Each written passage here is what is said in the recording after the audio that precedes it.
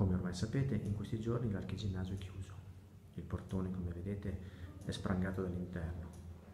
Noi approfitteremo comunque di questi giorni di forzata chiusura per portarvi in giro per il palazzo e la biblioteca, per farvi vedere quei luoghi, quegli spazi che sono comunque chiusi al pubblico anche nei giorni in cui il portone è aperto.